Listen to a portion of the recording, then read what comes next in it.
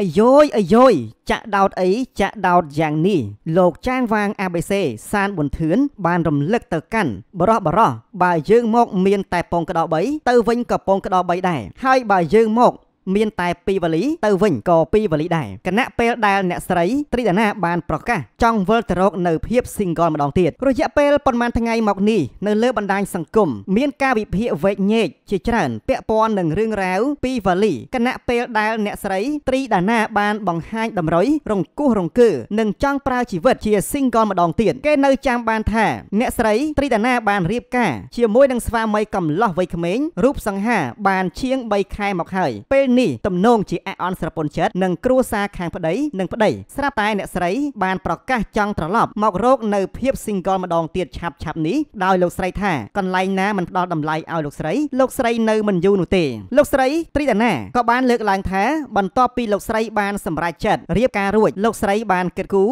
ដល់រឿងជាច្រើនធ្វើយ៉ាងណាដើម្បីជីវិតគ្រួសារមួយនេះដើរទៅមុខដោយរលូនដោយលោកស្រីបានឲ្យលុយប្តីទាំងម៉ឺនទាំងម៉ឺនដើម្បីយកទៅជួយសម្រួលបន្ទុកគ្រួសារប្តីជូនលុយនិងប្រាក់ខែម្ដាយក្មេជាប្រចាំយ៉ាងទៀងទាត់និងផ្ដល់ការងារតម្លៃខ្ទង់10000ដុល្លារឲ្យប្អូនថ្លៃប៉ុន្តែអ្វីដែលលោកស្រីធ្វើទាំងអស់នេះនៅតែមិនអាចបំពេញតាមចិត្តចង់និងការចង់បានរបស់គ្រួសារខាងប្តីលោកស្រីរីតាណាបានថ្លែងថាលោកស្រីពិតជាអាណិតប្តីដែលស្រឡាញ់លោកស្រីតែប្តីរបស់លោកស្រីហាក់នៅជាប់ជំពាក់ចំណងជាមួយនឹងគ្រួសារខ្លាំងពេកគិតគូរដល់គ្រួសាររបស់ខ្លួនក្រពេលទាំងដែលគាត់មានភរិយាបានបែកផ្ទះទៅហើយលោកស្រីត្រីតាណាបានបញ្ជាក់ថាសម្ពាធបែបនេះលោកស្រីមិនអាចទទួលយកបានទៀតទេហើយលោកស្រីនឹងគិតគូរឡើងវិញដោយលោកស្រីបានសរសេរនៅក្នុងទំព័របណ្ដាញសង្គម Facebook ផ្លូវការរបស់លោកស្រីនាល្ងាចថ្ងៃទី22ខែមិនិនាឆ្នាំ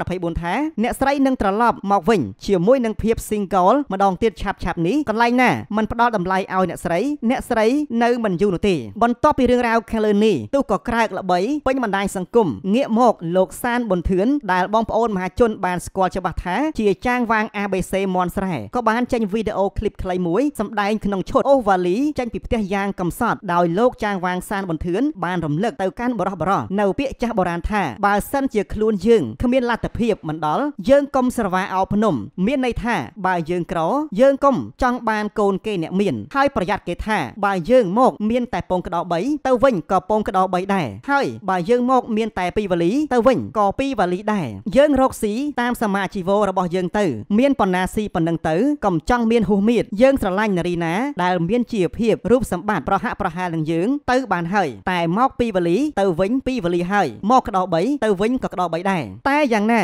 សម្រាប់អ្នកស្រីត្រីអាណាក៏បានបញ្ជាក់ថាបើនិយាយសរុបរួមឲ្យខ្លីមកគឺអ្នកស្រីមិនទាន់បានលែងលះគ្នាជាមួយនឹងស្វាមីវ័យក្មេងលោករួចសារនៅឡើយទេគឺកំពុងតែស្ថិតនៅក្នុងការពិចារណានៅឡើយហើយអ្នកស្រីនៅឆ្ងាយពីគ្នាមួយរយៈសិនដោយសារតែអ្នកស្រីមិនសប្បាយចិត្តជាមួយនឹងគ្រួសាររបស់គាត់ព្រោះថាអ្នកស្រីរៀបការប្តីមកគឺឲ្យគាត់មកបំពេញនៅភាពខ្វះខាតនិងបំពេញសេចក្តីសុខឲ្យអ្នកស្រីប៉ុន្តែបើរៀបការប្តីមកឲ្យអ្នកស្រីទៅរងសម្ពាធដូចអ្វីដែលអ្នកស្រីបានផុសនោះអ្នកស្រីមានអារម្មណ៍ថាចំពាក់គ្រួសារប្តីអញ្ចឹងអ្នកស្រីអត់ទេអ្នកស្រីអត់បន្តទៅមុខជាមួយគាត់ទៀតទេតែអ្នកស្រីពិតជាអាណិតប្តីខ្លាំងណាស់ដោយសារតែប្តីមិនមានកំហុស